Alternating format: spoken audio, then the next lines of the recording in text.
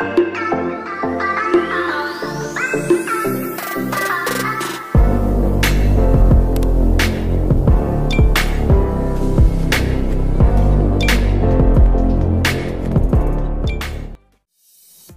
back to Football News channel.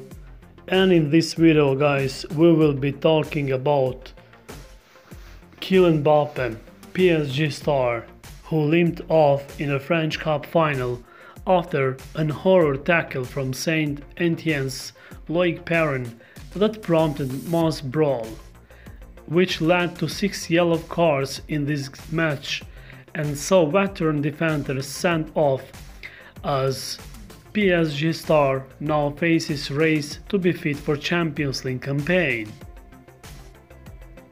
So, PSG and Saint Etienne players came to blows after Loic Perrin hacked down Kylian Mbappe as they battled it out for the Coupe de France trophy.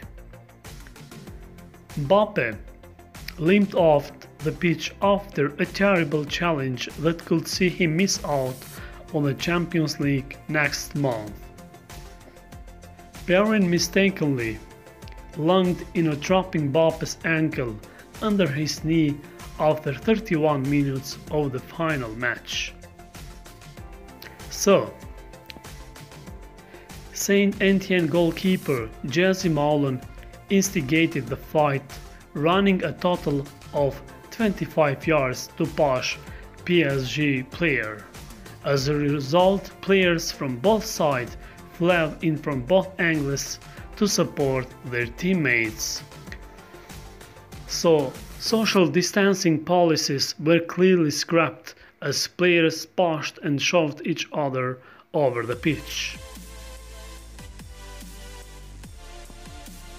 With tension rising, referee took action and booked a total of six players, giving yellow and red. So guys, we may say that it was a significant loss for PSG as Kylian Mbappe played a vital role in Paris Saint-Germain opening goal. His initial shot fell to Neymar who pounced on the rebound to finish it off from an close range.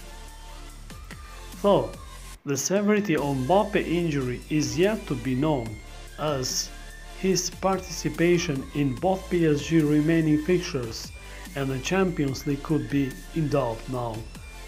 The Frenchman was seen re-emerging from the tunnel on crutches to avoid any weight bearing through his ankle. Any hope that manager Thomas had after Mbappe was able to hobble off the pitch may be quickly diminishing. So guys, thank you for watching this video and we ask you to like the video and even to subscribe channel for more news about football.